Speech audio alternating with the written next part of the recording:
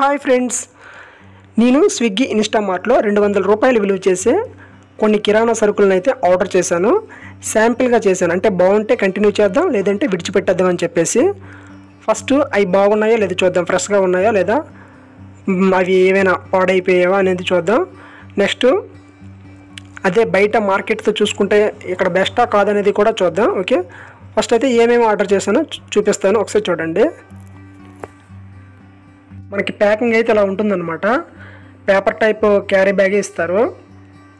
ఇది బాగా పతల బాగా పల్చగా ఉందన్నమాట. చిరిగిపోతుంది కూడా.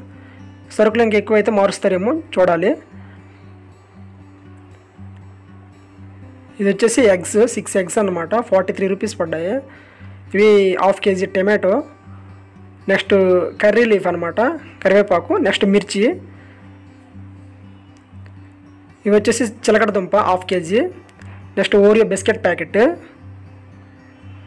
అది వచ్చేసి కార్డ్ ప్యాకెట్ ఇది వచ్చేసి అల్లం వెల్లుల్లి పే ఇది ప్రైస్ చార్ట్ అన్నమాట మీరు ఇక్కడ చూడొచ్చు ఇది కర్రీ లీవ్స్ వచ్చేసి కరివేపాకు మనకి సిక్స్ రూపీస్ వేసాడు ఓకే రీజనబుల్ నెక్స్ట్ ఇది ఓరియో బిస్కెట్స్ థర్టీ రూపీస్ వేసాడు నెక్స్ట్ స్వీట్ పొటాటో చిలకడ దుంప వచ్చేసి మనకి half K G thirty five rupees వేసాడు బయట అయితే మనకి ట్వంటీ రూపీస్గానే అవైలబుల్లో ఉన్నాయి ఓకే నెక్స్ట్ విశాఖ డైరీ ఇది కార్డ్ ప్యాకెట్ వచ్చేసి thirty rupees okay.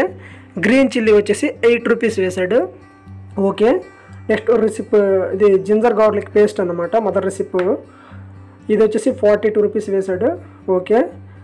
ఎగ్ ఇది కో కోడిగుడ్లు ఇవి వచ్చేసి ఫార్టీ త్రీ రూపీస్ వేసాడు మనకి బయట మార్కెట్లో వచ్చేసి మనకి ఇది ఒక ఎగ్ వచ్చి ఈచ్ ఎగ్ వచ్చేసి సిక్స్ రూపీస్కే వస్తుంది అనమాట అంటే ఆరు ఆరులో ముప్పై ఆరు రూపాయలు ఇక్కడ ఎక్స్ట్రా సెవెన్ రూపీస్ ఎక్స్ట్రా పడింది ఓకే.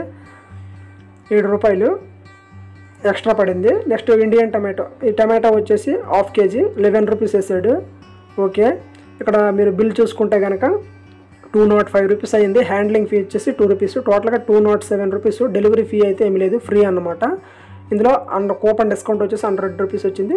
మనకి వన్ నాట్ సెవెన్కి ఈ సరుకులు అయితే రావడం జరిగిందనమాట చూసుకుంటే టోటల్ ఫైనల్గా పర్లేదు. కొన్ని ప్రైస్ అయితే బాగానే ఉన్నాయి.